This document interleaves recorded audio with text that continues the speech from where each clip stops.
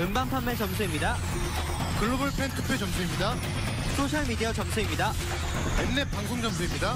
마지막으로 생방송 문자 투표 점수를 합산한 오늘 영광의 1위는 ITZY 축하드립니다. 수상 소감 부탁드려요.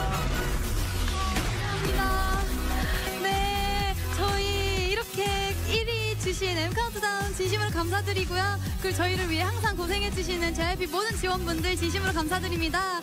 그리고 이번 활동 Not Shy를 준비하면서 정말 믿지에게 정말 좋은 무대 보여드리고 싶어서 열심히 준비했는데 이렇게 좋은 상 주셔서 믿지 덕분에 받을 수 있었던 것 같아서 진심으로 감사드려요. 앞으로도 좋은 무대 많이 보여드리도록 할 테니까 앞으로도 많은 관심과 사랑 부탁드려요. 믿지 고마워요.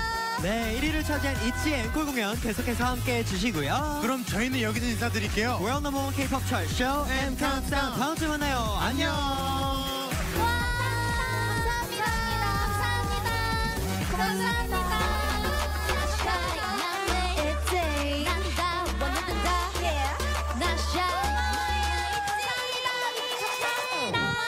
빨리빨리 원하는 걸 말해 못 가지면 뭔 소리 다 시간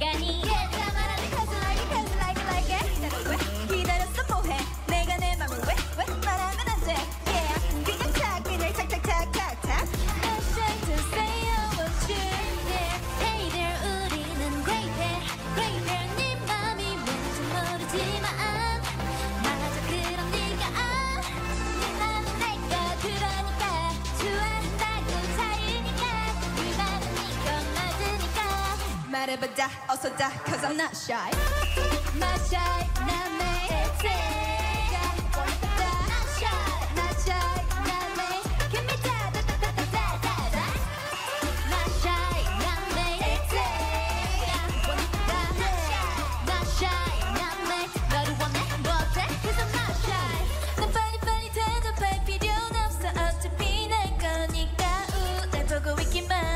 that